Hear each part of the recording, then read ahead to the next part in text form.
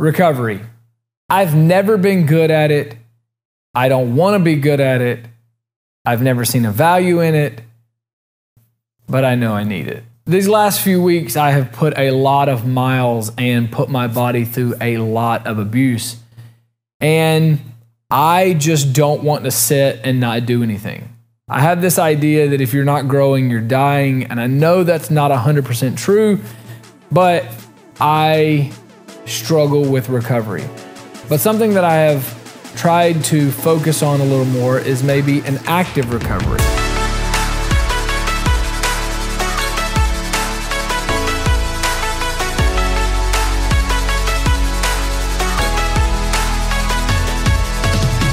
Active recovery is often considered more beneficial than inactivity, resting completely or sitting.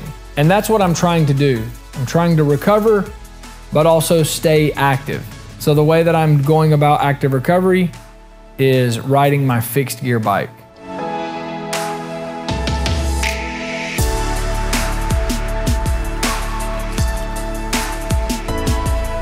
The fixed gear bike has been a lot of fun because I ride it to lunch now. I've got quite a few places that are close enough, about five to seven miles away, and I'll ride those to lunch.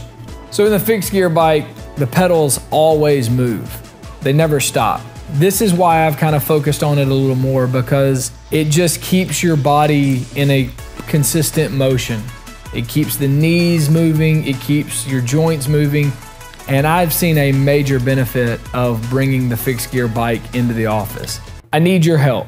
What are you doing to actively recover? What are some of the suggestions that I could do to actively recover? I hate recovery. I hate just sitting.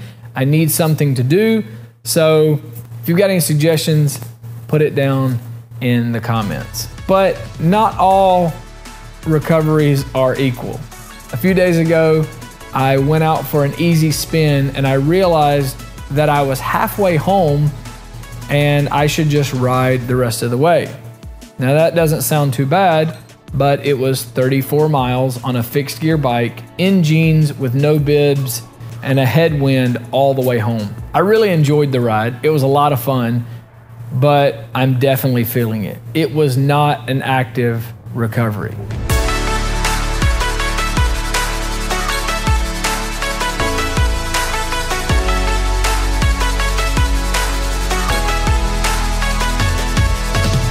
See, this is the issue that I have. I hate active recoveries.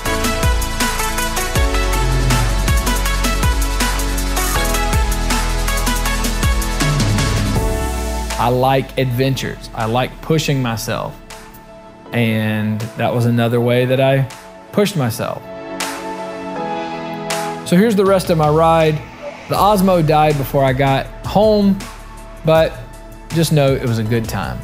Adios.